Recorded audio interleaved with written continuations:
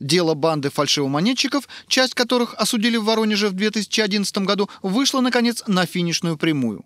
Немного исторических фактов.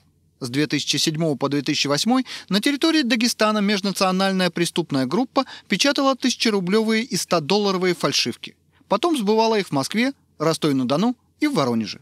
Тысячерублевую подделку продавали оптом по 450 рублей. Доллары шли, конечно, дороже. Осенью 2008 из 15 человек-изготовителей и сбытчиков 14 задержали. Часть судили в Ростове-на-Дону, шестерых в 2011 в Воронеже. Центрально-черноземный филиал Дагестанского монетного двора тогда получил различные сроки, от условного до восьмилетнего. На свободе оставался лишь один, самый хитрый или самый везучий. Он был объявлен в международный розыск.